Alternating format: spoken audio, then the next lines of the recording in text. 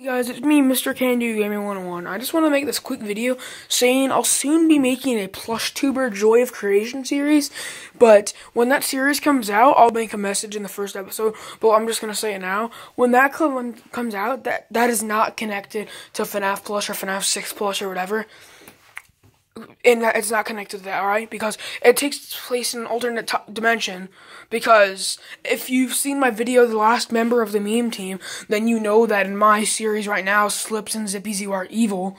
But in that series, Slips and Zippy Zoo won't be evil. So, and it takes place in an alternate dimension. So I just want to clear that up. So that series will be coming soon. So yeah.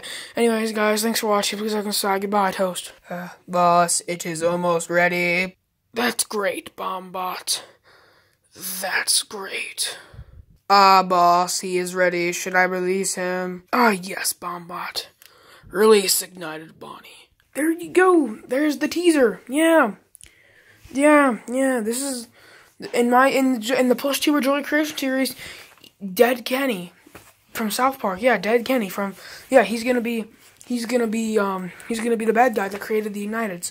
So yeah, as you just found out, the first episode will have Ignited Bonnie, and then I'll have Ignited Freddy, Ignited Chica, Ignited Foxy and stuff. So yeah, think anyways guys, thanks for watching. Please don't say goodbye. Toast. Plush Tubers Joy of Creation, episode one, coming soon. You know, it'll come either later today or tomorrow. So anyway, bye.